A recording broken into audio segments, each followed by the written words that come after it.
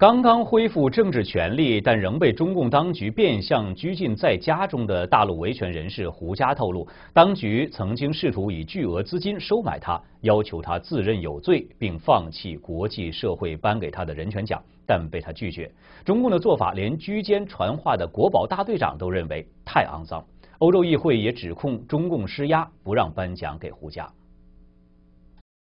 两千零八年，胡佳被中共当局以煽动颠覆国家政权罪判刑三年半，引起国际关注。同年，他获得了诺贝尔和平奖的提名，欧洲议会并授予他最高人权奖项——萨哈洛夫精神自由奖。胡佳说，零八年十月二十九号晚，北京国保队余姓大队长到监狱告诉他，有可能提前释放他，条件是发表一个认罪声明。声明呢，我当时的身份不适宜获得这样的奖项。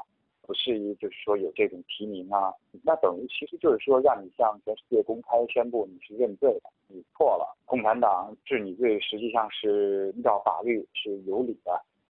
萨哈洛夫人权奖的奖金有五万欧元。传话的大队长表示，如果胡佳觉得经济上有损失，当局可以给他双倍的补偿，但胡佳没有接受。那个时候我还是蛮清醒的，我觉得至少的话在这里边没有动过一丝的这种念头。说你这个，你们的钱都是纳税人的钱，这种方法，你等于是说利诱，然后的话来来买通这个维权者，对，这种这种方法实在是上不了台面的。然后那个国保总队那个于总他也说嘛，说这个当然是一个最肮脏的方法。中共当局虽然知道这是一种最肮脏的交易方式，但从零八年十月底一直到十二月十号，诺贝尔和平奖颁奖。一共派人到监狱找过胡佳七次。对于中共外交部如此迫切地想达成这项交易，胡佳表示这是一个可怕的阴谋。你如果真的是与他们就达成这种交易的话，那么等于是你把你的灵魂也出卖了，道德良知啊，这个这些准则啊，全都出卖了，来换取一点点人身自由，来换取一些经济利益。实际上的话，你背叛了自己，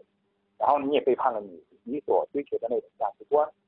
胡佳认为，这同时也意味着以后会有更多的民众会被中共当局所谓的煽动颠覆国家政权罪的恶法所伤。国际社会会会说，如果我们再给他一种道义的支持，再给他一些，比如说国际性的这种奖项啊，那么无论是政府颁发的，还是民人权组织颁发的，那么会不会也还会出现这种情况呢？你等于是说让国际社会那些这个支持中国。